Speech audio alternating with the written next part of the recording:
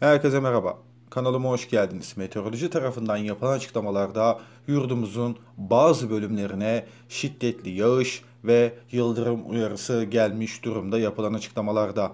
Meteoroloji Genel Müdürlüğü tarafından yapılan değerlendirmelerde Trakya, İç Ege ile Akdeniz'in iç kesimleri, İç Anadolu, Batı ve Doğu Karadeniz'in iç kesimleri, Doğu Anadolu'nun kuzeyi ile Muğla, Bilecik, Antalya, Adana, Hatay, Çorum çevrelerinin yerel sağanak ve gök gürültülü sağanak yağışlı geçeceği yer yer ise kuvvetli yağışlı olacağından dolayı bu bölgelerde bu illerde ani sel ve su baskınlarına karşı tedbirli olunmalıdır açıklaması gelmiş durumda. Özellikle bazı illerden bahsedilerek bu illerimizde ise yıldırım olaylarına karşı vatandaşlara uyarı geldi. Bu illerimiz ise Adana, Ankara, Burdur, Isparta, Muğla, Aksaray, Osmaniye, Afyonkarahisar, Aydın, Denizli, Konya, Niğde ve Kırıkkale. Bu illerimizde yıldırım ve şiddetli doğulu yağışlarına karşı vatandaşlara uyarı geldi. Meteoroloji Genel Müdürlüğü tarafından son değerlendirmelere göre sıcaklıklarda önemli bir değişiklik olmayacağı ülke genelinin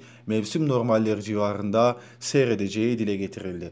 Rüzgarın genellikle kuzey ve batılı yönlerden hafif, yer yer orta kuvvette, Akdeniz kıyıları ile Doğu ve Güneydoğu Anadolu'nun güneyli yönlerden orta kuvvette yer yer şiddetli esmesinden dolayı Akdeniz kıyıları ile Doğu ve Güneydoğu Anadolu'nun güneyli yönlerden dolayı kuvvetli rüzgardan dolayı bu bölgelere ağaç devrilmesi, baca gazı zehirlenmesi, çatı uçması gibi çatı uçması gibi olaylara karşı vatandaşların tedbirli olması gereklidir açıklaması gelmiş durumda meteoroloji tarafından yapılan son değerlendirmelere göre.